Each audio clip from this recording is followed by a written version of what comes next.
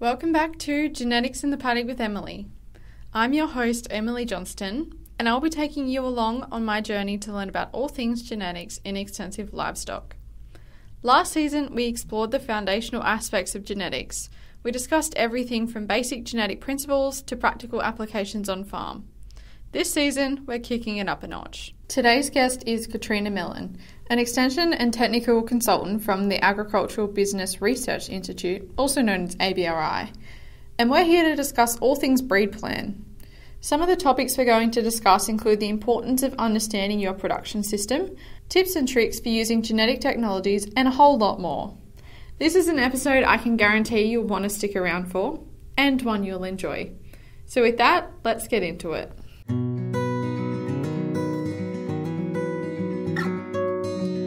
Welcome back to another episode of Genetics in the Paddock with Emily.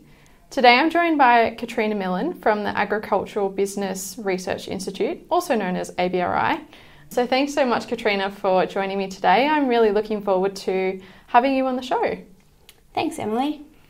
Thanks. So I'm going to let you do the intro for what you actually do at ABRI because as we just discussed, it is a little bit too long for me to explain, so I'll let you do the honours.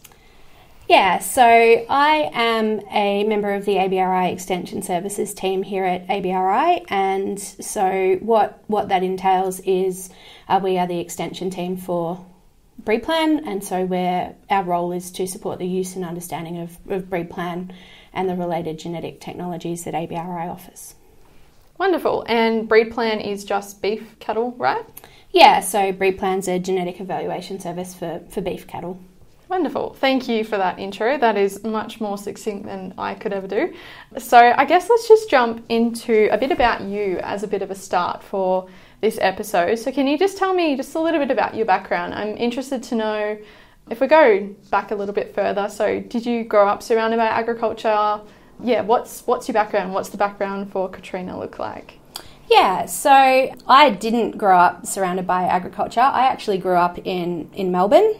I guess if we go back a couple of generations, my grandfather was off a, a, a sheep property but moved to Melbourne after World War II. So we certainly had links to ag in that I, I remember being quite little and going up to uh, northeast Victoria and visiting uh, family who, who had cattle and going out to feed the cows and that sort of thing, but certainly not day to day, not directly, very much grew up in the city with yeah, minimal minimal links to to ag, but always really liked animals, was always very keen on animals and really enjoyed genetics. When I went to, to uni, I uh, did a Bachelor of Science at Monash Uni, which was a, a great introduction to genetics and then was keen to go on and do some further study, except at the time Monash Uni was doing a lot of work on model organisms, so things like zebrafish and Drosophila, the, the fruit fly, and that didn't sound very interesting to me. So that was when I said, no, I want to do something with with animals, but also ag, and feel like you know it's something that's going to give back to, to the community and, and be I, I, can see the benefits. So jumped across to Melbourne Uni and did did a Bachelor of Ag Science honours with, with Mike Goddard and he said to me, look, you can work on dairy, beef or, or sheep, but dairy had the, the better data set. So I did Ag Science honours with the dairy genetic evaluation. So was technically at Melbourne Uni, but actually based at Vic DPI as they were at the time. Yeah, and that's sort of how I fell into working in ag.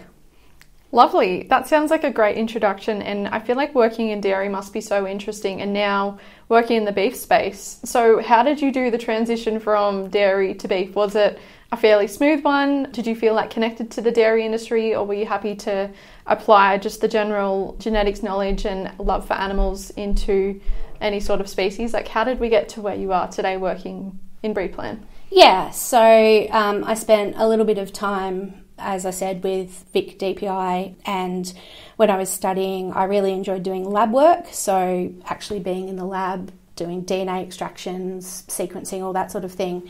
But I guess at that time, DNA sequencing was really expanding and it was moving to the point that you spent very little time in the lab and then a lot of time doing computational biology at the computer screen.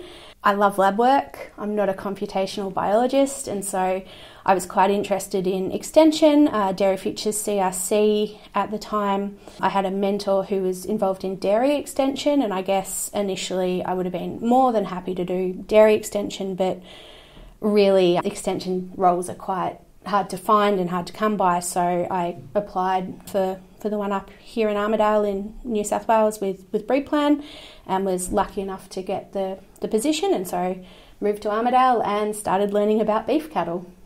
Lovely. And it's and how was the move from Melbourne to Armidale?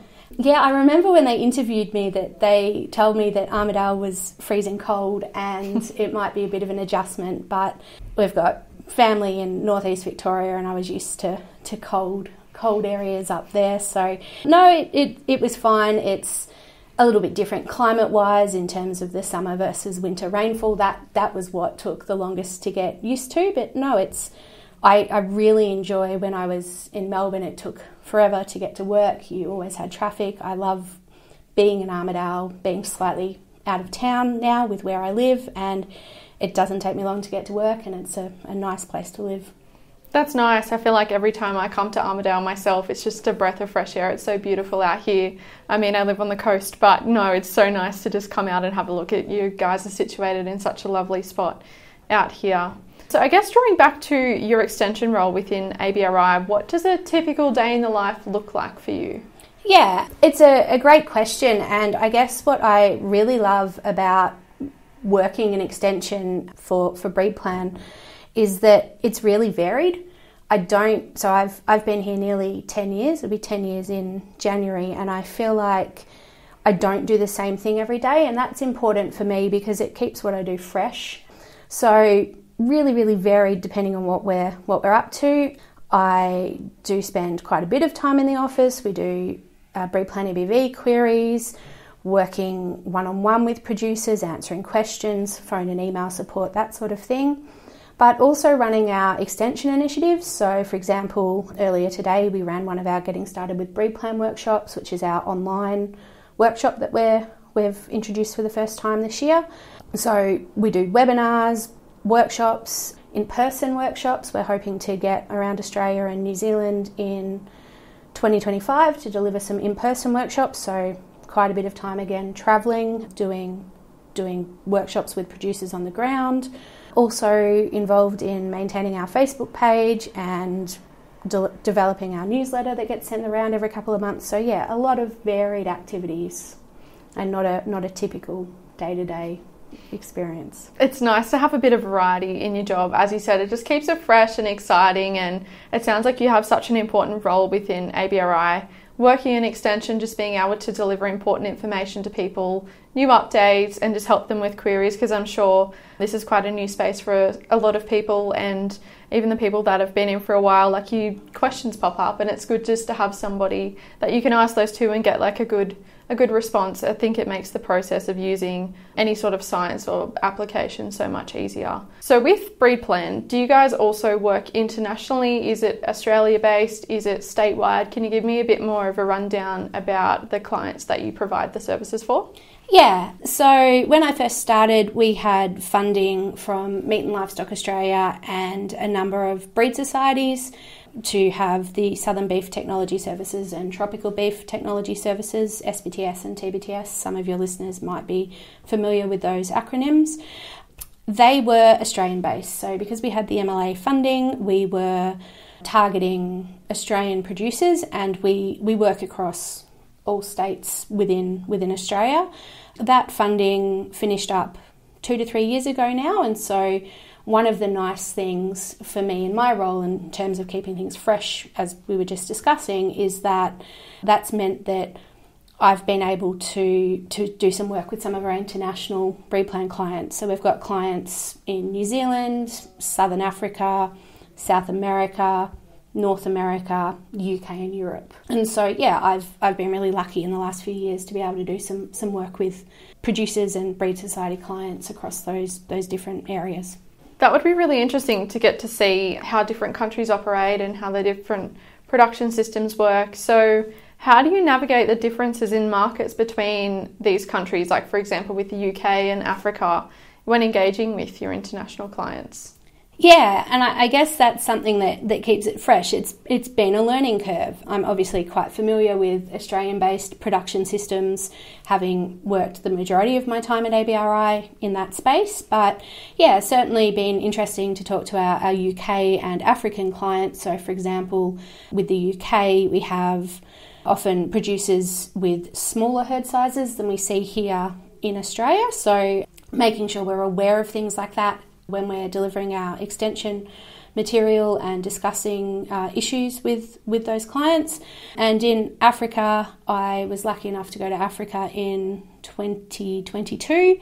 And so, just before I went, making sure that I had a good feel for for what the production system was. One thing that I found really interesting that I would never have thought of when I was when I was over there is uh, there was a at the conference there was a discussion about how you manage water sources to protect them from elephants. And I just remember thinking I would never have thought of that being a problem at all. So, yeah, it's it's a matter of understanding what we're offering them in the analysis, what their production systems look like, and we're we're really lucky in Southern Africa to have uh, the Livestock Registering Federation (LRF) who do breed plan extension across Southern Africa. So they were a good sounding board for the sorts of issues and things to be aware of when, when talking to Southern African clients. And are there any other specific challenges or opportunities that you feel like might arise or do arise when dealing with these sort of diverse global markets? Yeah, I, I, guess it, it comes back for me to just making sure that you're aware of what the production systems look like, what the end target markets look like. So, it's a challenge, but it's also an opportunity. Africa, once again, Southern Africa is a, a, good example. When we were in South Africa, they don't have anything like our MSA system.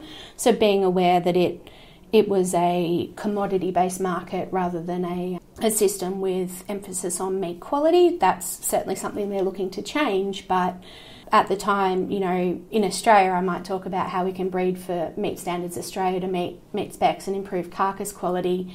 It's something that you will mention it to a Southern African audience, but it's not a big part of their day to day consideration. So it's yeah, meeting meeting those differences and being aware of the endpoint and the production system so that you can target your extension messages for them. Interesting, yeah, that, that's a lot of things to consider, especially when you are trying to give a, an extension message that is applicable to a lot of different people as well. But you, you, we did speak just a little bit then about understanding the production systems of your clients. So, why is this something that's important for you guys to understand before giving these sort of genetic recommendations or extension messages?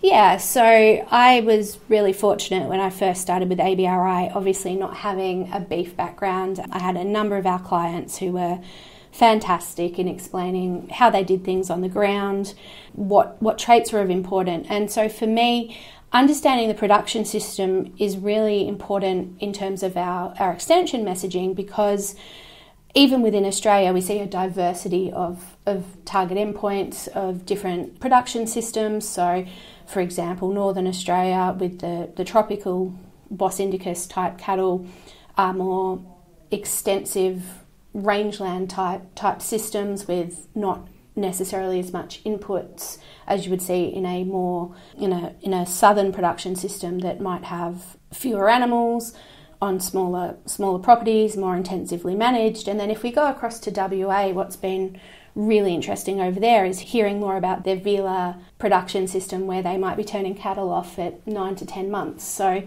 that's important because if I'm talking about, well, which traits are important to your production system, I need to understand the production system. So, for example, in WA, if you're turning cattle off for slaughter at nine, ten months old, we can talk about how intramuscular fat, so the marbling in the, the animal, is important, but it's not as in, it's not important in a in a production system where they're they're turned off while they're still growing. Whereas over in southern Australia, Victoria, southern New South Wales, where they are targeting MSA markets with with older supermarket turn off at 18, 20, 20 months of age, for example, that trait suddenly becomes a lot more important. So I need to know what the production system is and those sorts of considerations to tailor the extension advice. Obviously, the person that understands the production system best is the producer that's living and working in that production system, but as an extension officer, I think it's really important that I tailor my extension advice to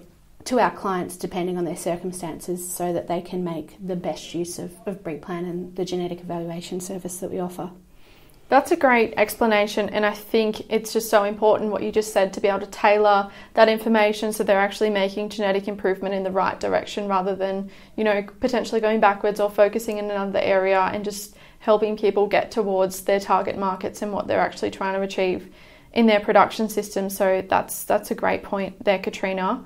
I'm also interested in how so in, in your in your own words, how do maternal traits contribute to the efficiency of production systems, particularly in those challenging environments, maybe like South Africa? Yeah, so I guess production system efficiency, when I think about it, I really think about it in, in two parts. I think it's easy to identify that we have animals that are turned off for, for slaughter, and obviously things like growth and finishing ability are going to be important in those steer progeny and heifer if it's a, a fully terminal system. But the other side of that equation is the, the maternal cow herd. And so for me, when we're looking at efficiency in in maternal in, in the cow herd, what we're really looking for firstly is a cow that can get pregnant. So she's got to get in calf, which is our fertility traits like days to calving.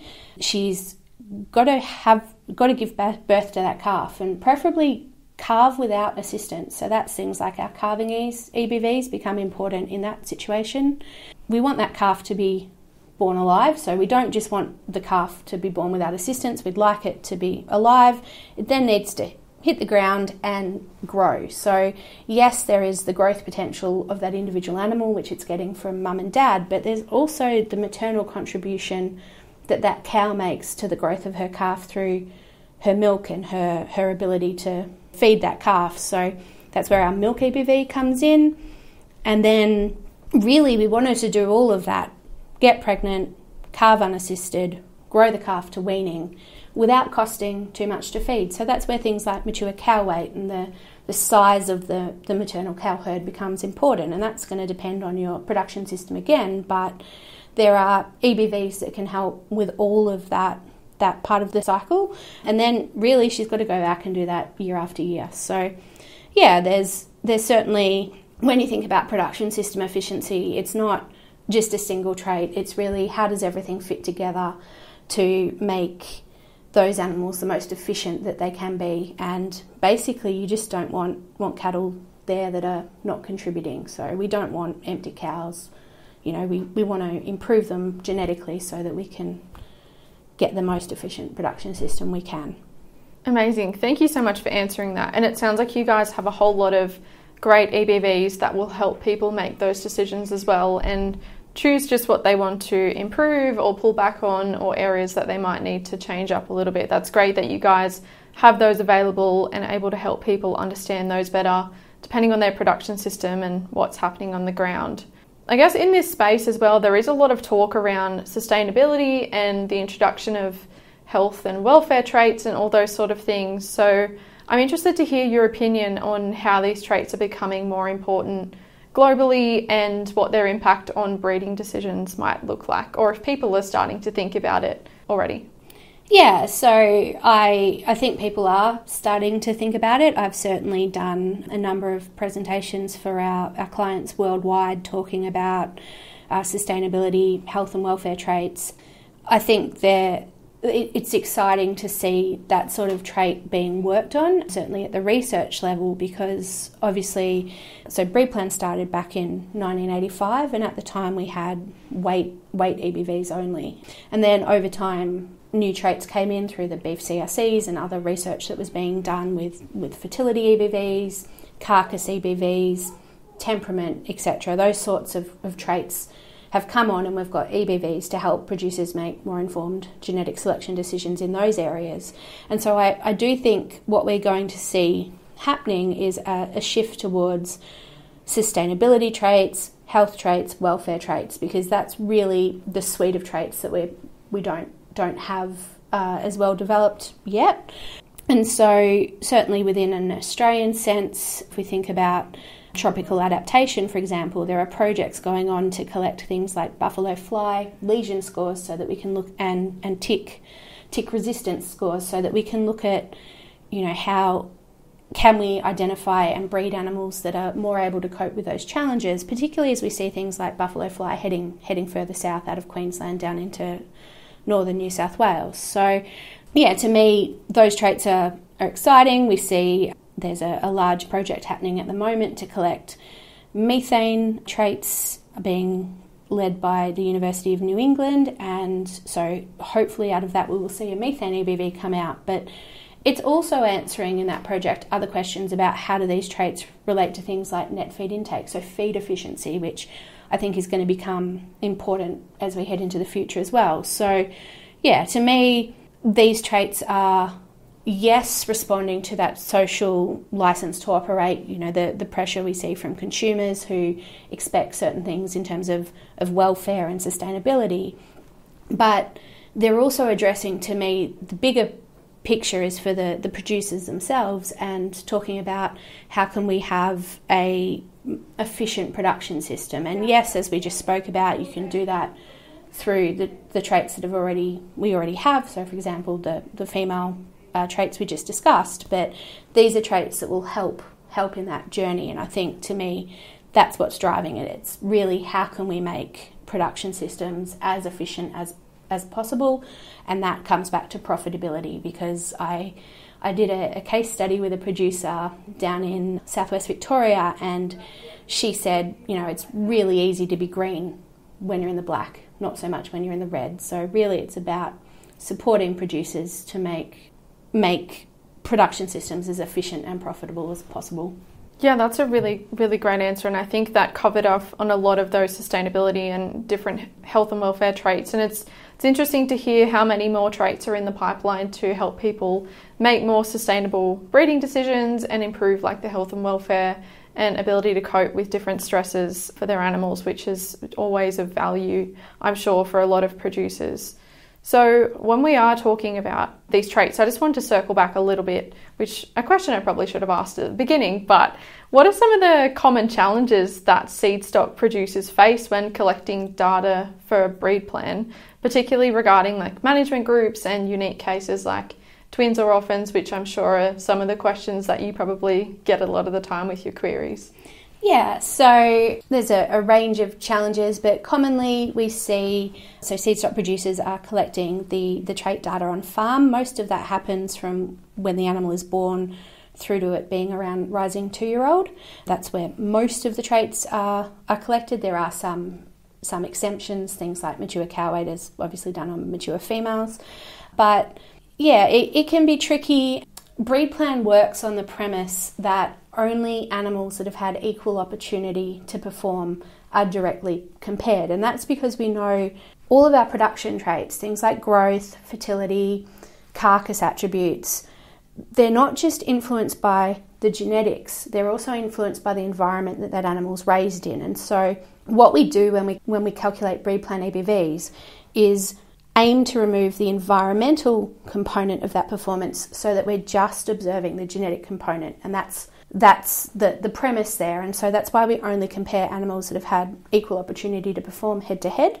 And so what's what's then really important for our seed stock producers is breed plan can't see what's happening in their paddocks. So they, they act as eyes for the breed plan analysis by telling us through their use of management groups, yes, it's it's okay to compare these animals head to head. They've been raised in the same environment versus no, that one was sick and its peers weren't, or I've got two mobs. This one was in paddock A, this one was in paddock B, and paddock A and B are, are different nutritionally. So we do rely on, on seed stock producers to provide provide those management groups. Sometimes that's not a straightforward decision as to should I put this animal in a different management group to its peers. Um, it's particularly tricky with with things like twins, where if you think about twins, obviously we don't want to compare twins raised as twins to a single raised on mum, but not all twins are raised as twins in the paddock, and so you get in situations where you've got twins that were fostered or twins that were raised as, as singles. And so they're the sorts of things that we have management groups for, but it's it can be tricky. And so that's where we really encourage when we talk to our seed stock producers for if they're if they've got those sorts of tricky situations and they're not sure should I be putting animals into different management groups to reach out to the breed plan team. We are more than happy to answer those sort of queries. I answer those sorts of queries all the time. And it's important that we do so because it's it's not always straightforward and it's something that in terms of the analysis it's important to get right.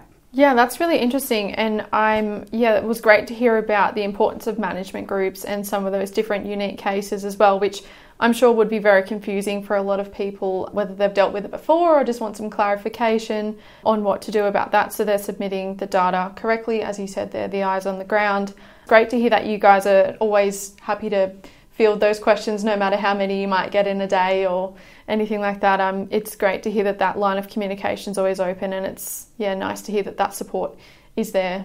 Also goes back to the integral role of extension within ABRI too. So I guess like the next question that I did have for you, which I'm sure is going to be of interest to a lot of people. So, what are your tips and tricks for people headed off to the sales to buy a new bull?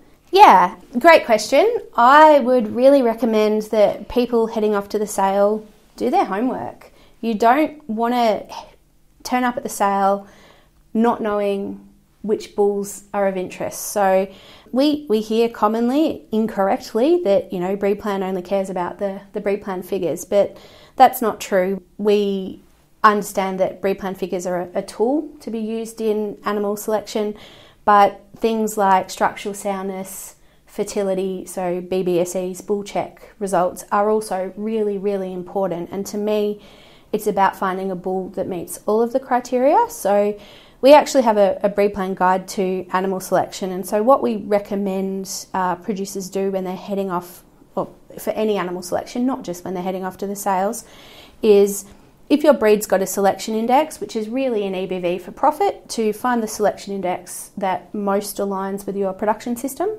use that to do an initial sort of the animals that have been offered for sale.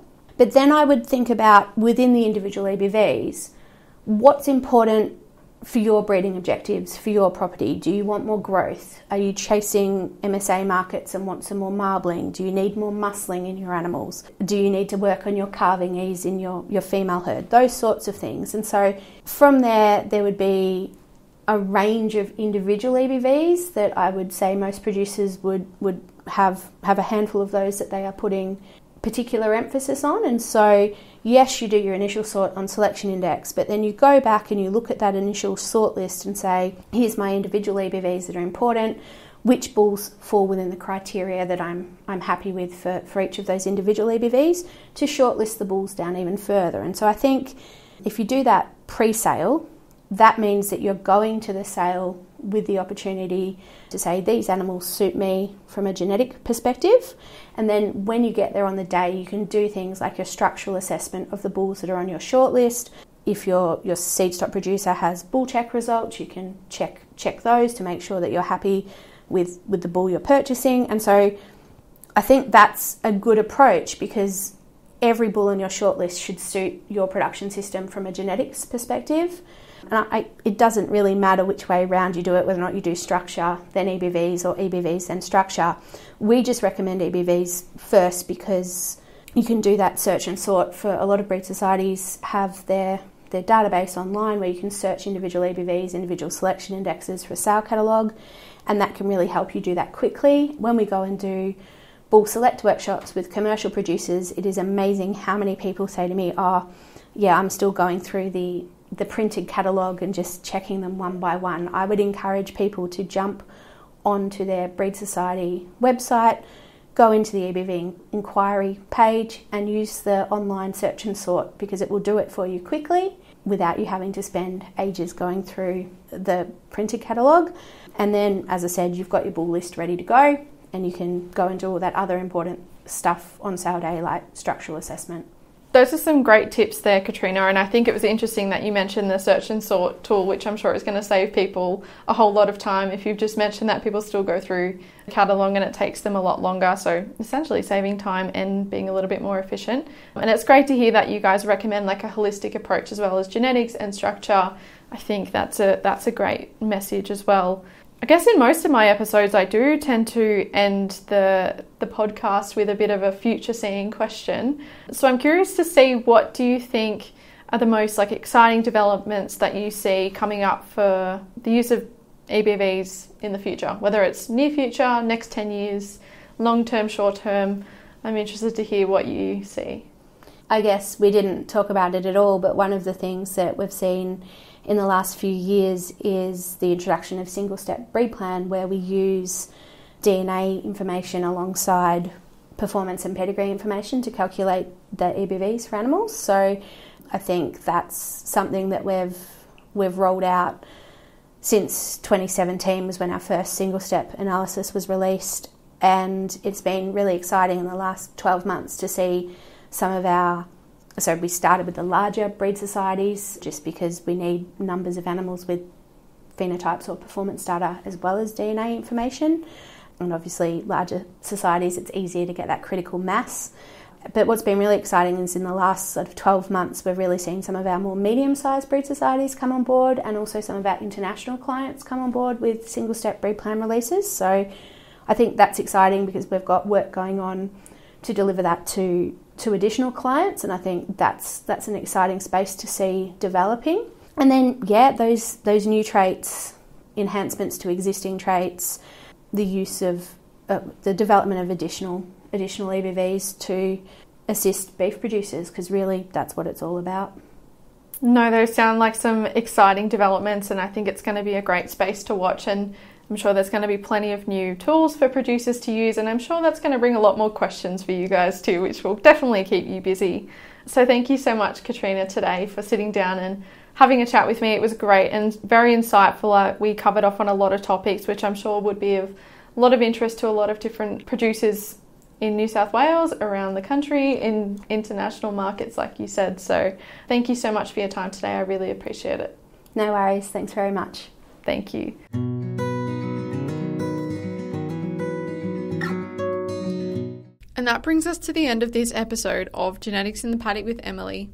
I hope you found our discussion as enlightening as I did. This episode was produced by the extensive livestock genetics team within the New South Wales Government.